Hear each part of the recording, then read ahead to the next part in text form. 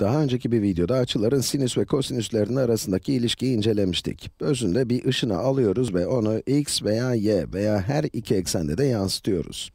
Bu videoda yapmak istediğim ise açıların tanjantları üzerine biraz kafa yormak. Öncelikle ufak bir hatırlatma yapayım. Teta'nın tanjantı, teta'nın sinüsü bölü teta'nın kosinüsüne eşittir. Birim çember tanımına göre de tanjant, buradaki ışının eğimi nedir demektir aslında. Eğim de nedir? Yükseklik bölü taban. Dikey eksendeki değişim bölü yatay eksendeki değişim. Eğer orijinden başlarsak ve sıfırdan sinüs teta'ya gidersek, dikey eksendeki fark ne olur? Dikey eksendeki değişimimiz zaten sinüs teta. Peki yatay eksendeki değişim nedir? Kosinüs teta. Yani bu, ışınımızın y'deki değişimi bölü x'teki değişimi. Yani teta'nın tanjantı, teta'nın sinüsü bölü teta'nın kosinüsü.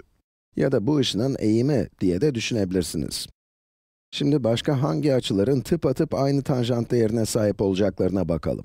Bu ışınla buradaki ışın aynı çizgi üzerindeler. Hatta bu iki ışını birleştirirsek bir doğru elde etmiş oluyoruz, öyle değil mi? Neyse, buradaki pembe açının tanjantına bakalım.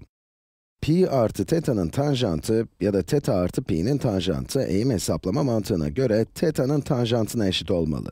Peki, gerçekten bu böyle mi? Hemen bakalım. Yani eğer gerçekten bir açının tanjantı bir ışının eğimine eşitse, bu iki şey birbirine eşit olmalı. Teta artı pi'nin tanjantını sinüs ve kosinüs açısından değerlendirelim. Pi artı teta'nın tanjantı, teta artı pi'nin sinüsü bölü teta artı pi'nin kosinüsüne eşit olacak. Bir önceki videoda teta artı pi'nin sinüsünün eksi teta sinüsü eşit olduğunu kanıtlamıştık. Yani bu, teta'nın sinüsünün negatifi.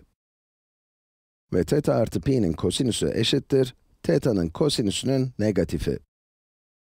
İki eksi işaretini birbirine bölersek, iki eksi işareti, iki negatif birbirine götürür ve sonuç pozitif olur. Sonuç olarak da elimizde teta'nın sinüsü bölü teta'nın kosinüsü kalır.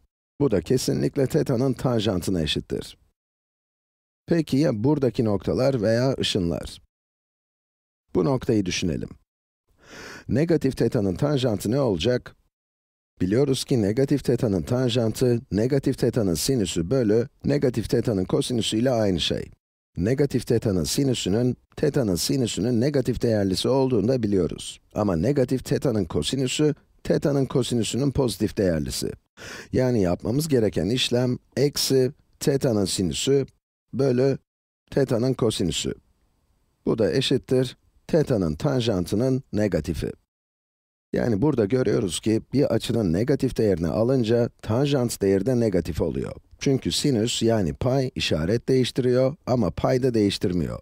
Bu yüzden negatif bir açının tanjantı, bir açının negatif tanjantına eşit oluyor. Peki, buradaki noktaya bakalım. Burada pi eksi teta'ya bakıyoruz. Bunun tanjantı da pi eksi teta'nın sinüsü bölü pi eksi teta'nın kosinüsü olacak. Önceki videoda pi eksi teta'nın sinüsünün teta'nın sinüsüne eşit olduğunu da görmüştük. Buraya bakarsak da zaten iki açının aynı sinüse sahip olduklarını görebiliriz. O yüzden bu, teta'nın sinüsüne eşit. Ama pi eksi teta'nın kosinüsü, eksi teta'nın kosinüsüne eşit olacak. O yüzden bu da, teta'nın sinüsü, bölü, eksi, teta'nın kosinüsüne eşit olacak. Yani teta'nın tanjantının negatifi. Bu da oldukça mantıklı çünkü bu ışınla bu ışının eğimleri eşit olmalı. Buradaki eğimi her zaman negatif tanjant olarak düşünebiliriz. Bu kesişen doğruların birbirine olan eğimleri negatif olacak. O zaman da daha demin biraz önce öğrendiğimizi tekrar edelim. Eğer bir açıyı alırsak ve o açıya pi eklersek, o açının tanjant değeri değişmeyecek çünkü ikisi de aslında aynı doğru üzerinde. Pi 180 derece. Ters yöne doğru gidiyoruz ama ışınımızın eğimi hiçbir zaman değişmiyor. Bu yüzden teta'nın tanjantı ile teta artı pi'nin tanjantı aslında aynı şey. Ama açımızın negatif değerini alırsak, tanjantımız da negatif değerde olacak. Ya da açımızdan pi çıkarırsak, o da tanjant değerimizi negatif yapacaktır. Bu öğrendiğimiz şeyler trigonometrik problemlerde çok işinize yarayacak, umarım iyice anlaşılmıştır.